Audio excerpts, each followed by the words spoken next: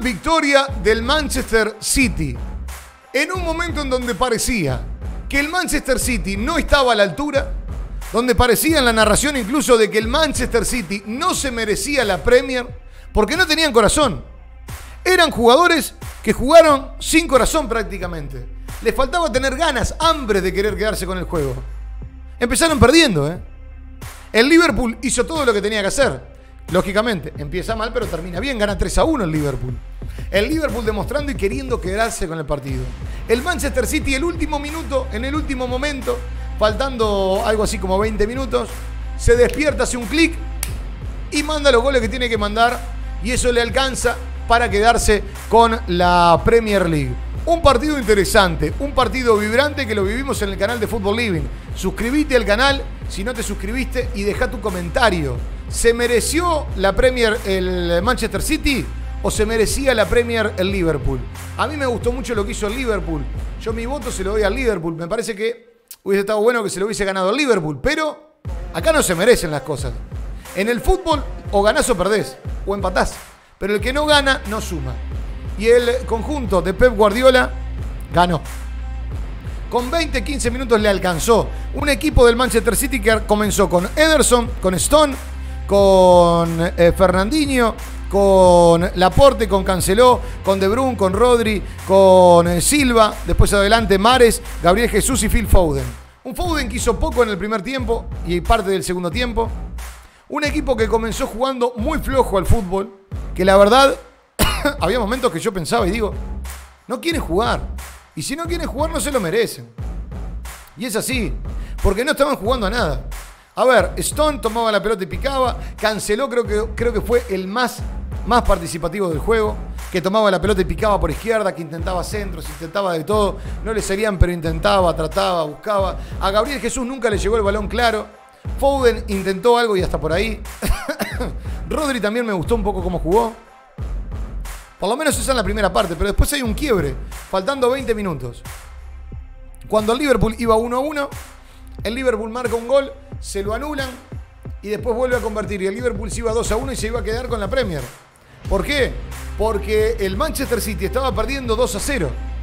Llegó a perder 2 a 0. El primero de los goles lo hizo Cash. Digne picó por izquierda, levantó un centro cruzado, apareció Cash y lo convirtió. Y después el otro lo terminó convirtiendo Coutinho en un remate medio mordido, pero gol al fin. Los goles a los 37 y a los 69. Ahí parecía que el Manchester City perdía absolutamente todo y que el equipo de Pep Guardiola no tenía lo que tenía que tener para salir campeón. Era así. Lo pensamos todo.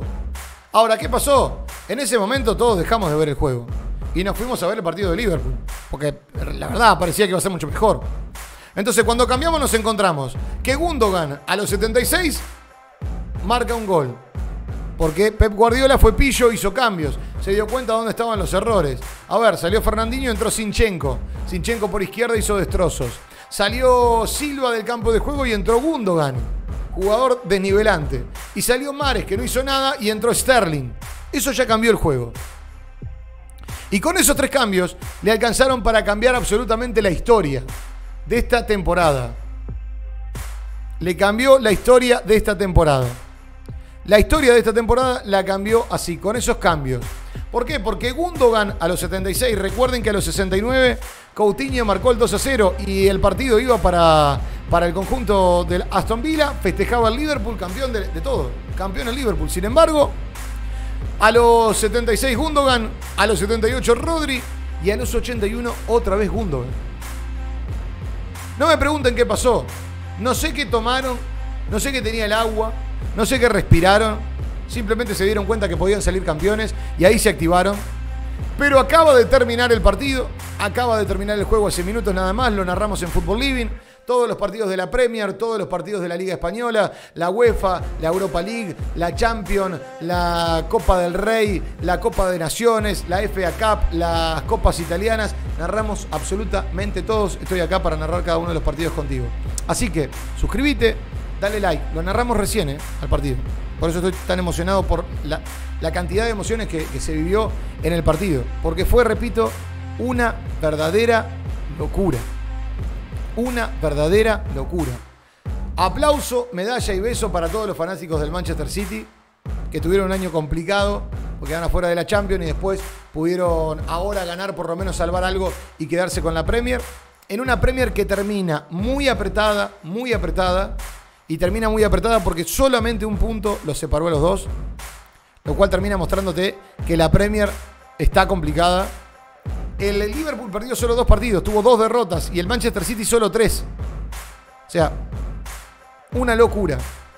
Veremos a ver qué pasa en la próxima temporada de la Premier, que imagino también va a ser muy buena. Y tengo mucha expectativa en lo que va a ser la Premier del año que viene. Y con Football Living vamos a estar narrando todos los partidos de la Premier. Porque realmente es una locura cómo se está jugando y lo bien que se está jugando al fútbol. Me sorprendió muchísimo.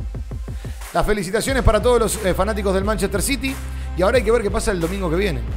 Porque el Real Madrid juega contra el Liverpool. Un Liverpool que tuvo las mieles de la victoria con la FA Cup.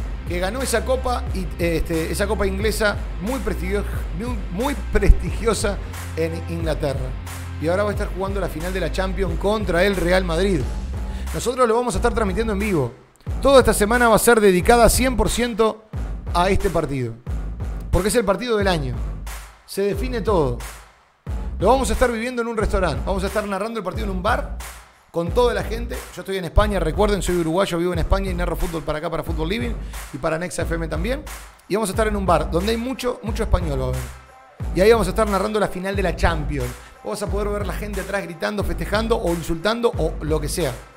Así que, suscríbete, dale like y déjame tu comentario si te gustó esta última fecha de la Premier que fue una verdadera locura. Una verdadera locura.